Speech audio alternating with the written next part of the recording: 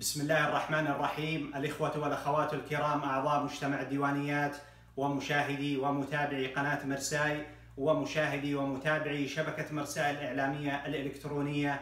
السلام عليكم ورحمة الله تعالى وبركاته وأسعد الله أوقاتكم بكل خير. أرحب بكم ويسرني ويسعدني أن أطرأ على مسامعكم وعلى أنظاركم الكريمة.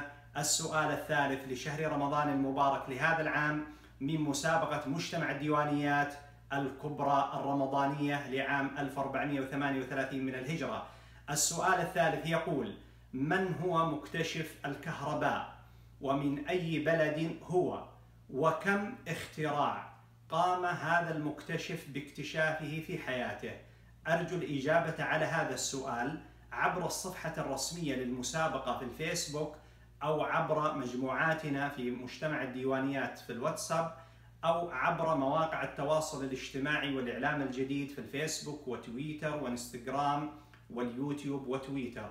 نرحب بجميع الإخوة أعضاء مجتمع الديوانيات أو متابعي القناة أو الشبكة مرسائل الإعلامية الإلكترونية أو المهتمين من الأصدقاء حول العالم معنا في الفيسبوك.